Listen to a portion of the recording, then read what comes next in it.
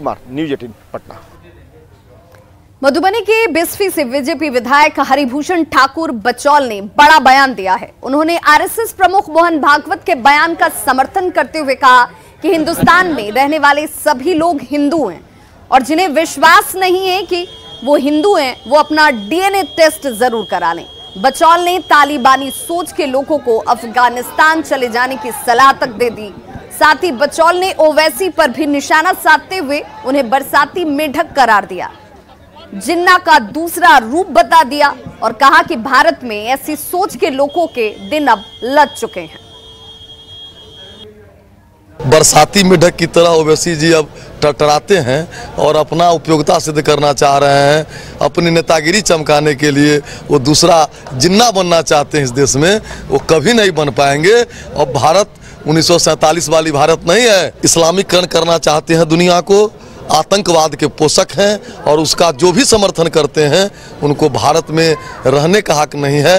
वो अफ़गानिस्तान चले जाएँ, वहाँ पेट्रोल, डीजल भी सस्ता है, मकान भी सस्ता है, वहाँ जा कर के देखें, तब भारत के बारे में कुछ बोले। बीजेपी विधायक हरिभूषण ठाकुर बचौल के बयान पर आरजेडी और कांग्रेस की प्रतिक्रिया सामने आई और कड़ी प्रतिक्रिया इस बयान पर इनकी तरफ़ से रखी गई। बीजेपी के माननीय विधायक बचौल जी मंत्री नहीं बनने से बेचैन है और कह रहे हैं, तालिबानी सोच के लोगों को अफ़गानिस्तान भेज देना चाहिए। तो पहले तो बीजेपी के ही नेता कहते थे कि जो बीजेपी को वोट नहीं देगा, पाकिस्तान भेज दिया जाए। कितने को पाकिस्तान इन्होंने भेजा? डबल इंजन की सरकार है भेज कर दिखाएँ। गोलवालकर भी कहते थे कि राजनीतिक सत्ता नहीं धर्म की सत्ता होनी चाहिए। तालिबान भी यही कहता है धर्म की सत्ता तो दोनों वैचारिक रूप से समान है इसलिए उनको लग रहा है कि आ, इन लोगों को अफ़गानिस्तान चले जाना चाहिए। लेकिन मेरा सुझाव है कि बचौल साहब सब लोग यहीं रहिए ये भारत की धरती है माता है आपकी गलतियाँ माफ़ करेगी। आप यहाँ सभ्य नागरिक बन के रहिए आपका स्वागत।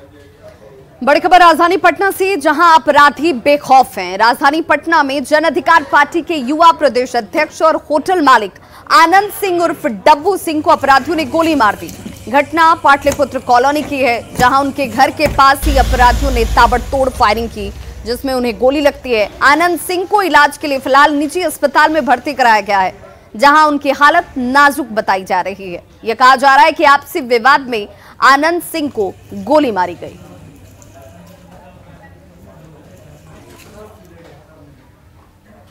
और बड़ी खबर औरंगाबाद से आ रही है। हाईवा और पिकअप वैन के बीच ज़बरदस्त टक्कर हुई है। हाईवा और पिकअप वैन आपस में टकराए हैं। हादसे में दो लोगों की मौत हो गई है।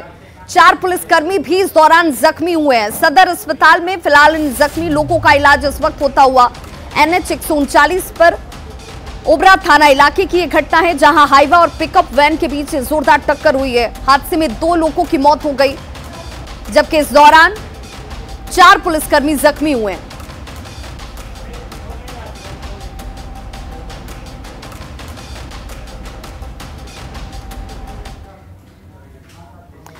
बगहा में नहरों की सफ़ाई नहीं होने की वजह से किसानों की चिंता इस वक्त बढ़ गई है। नहर का अधिकांश हिस्सा सिल्टेशन की वजह से टापू में तब्दील हो गया है।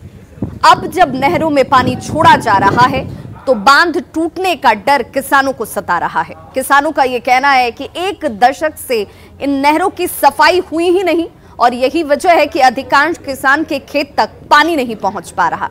किसानों ने विभाग और प्रशासन से मदद की गुहार लगाई है। हर खेत तक पानी पहुँचाने की सरकार की मुहिम कई इलाकों में दम तोड़ रही है और लगातार नहरों में पानी आने की स्थिति में बाँध टूटने की शिकायतें भी तमाम आती है। तो हम आपको दिखाने की कोशिश कर रहे हैं। हम पहुँचे हैं तिरहुत मुख्य नहर का यह तस्वीर हम सामने दिखाने की कोशिश कर रहे हैं।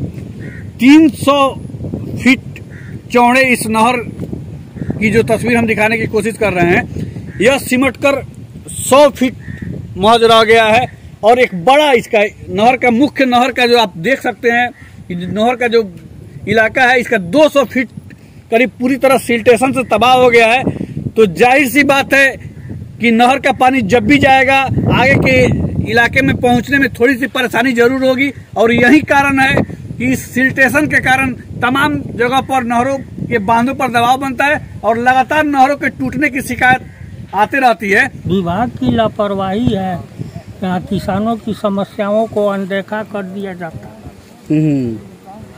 नहीं तो इसका बराबर अगर डिसिल्टेशन किया जाए तो पानी बढ़िया से हर खेत तक पहुँचेगी।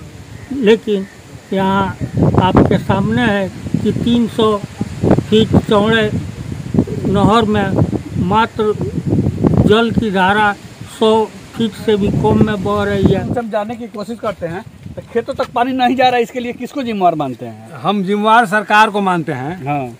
मानते हैं कि माननीय सरकार इस पर कोई देख सुन कर, नहीं कर रही है। कोई इसका परीक्षण नहीं हो रहा है। सरकार से हम कहेंगे ताकि इसको देखभाल करके इस सफ़ाई नहर को किया जाए, नहीं तो पानी इसमें चलने वाला नहीं है। और अब बात